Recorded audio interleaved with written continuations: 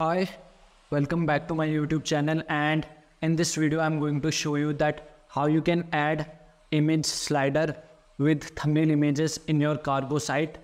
Uh, I will be showing this in cargo 3 um, but the code is going to be same for cargo 2 and you are you can easily implement this in uh, in your cargo 2 site as well.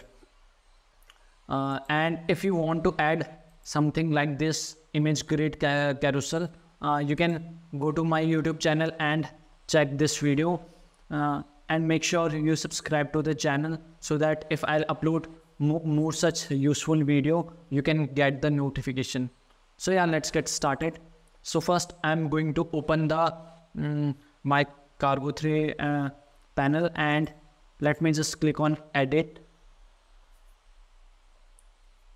Uh, so we will be using uh, HTML, CSS and JavaScript uh, to create this feature because this is not something uh, by default provided by Cargo. Uh, let me create a new page.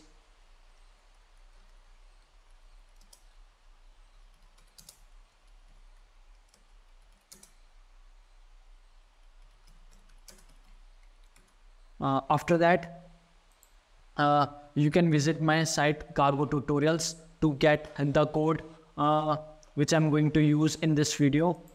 So this is basically the blog. I will link this blog URL in the description. You can simply scroll down and here you will uh, see in the HTML code. Simply copy this code and after that uh, go to the particular uh, uh local code editor and update paste it and then click on update so that uh, it can be uh, seen in the uh, in the page which we have created. Now you can see that these are the images image uh, which are coming from a url uh, to update the image uh, your images you simply need to click on upload. Suppose this is the url and after that open that image in a new tab, copy the URL and go back to the code section. Here we have two section. First one is gallery slider, uh, which is basically the section with the main images with uh, with the main image and then we have the gallery thumbs which is basically the thumbnail images which are here so first uh, if you want to update the first image you simply go on you simply need to search for the first image tag which is this one. Img stand for the image tag and then we have src which is basically the source of the file. Then you need to replace this image uh, with uh, with your image url and then simply click on update. And uh, same way if you want to update the thumbnail for this image you need to go in the gallery thumbs and uh, so this is basically the thumbnail image. Here uh, we have to follow the same procedure. Find the image tag. This is the first image tag for the first thumbnail image. And then update the source which is basically the source of the image like this. Make sure the uh, that the width of the images are same because currently the width are not same so make sure the width uh, uh, and height of the images are same so that it looks uh, fine on the uh, gallery. Okay. So currently as you see after uh, making the changes i published the site. So currently it is looking something like this. Okay. This is not the correct one. So this is the correct page as you can see that we have the updated image.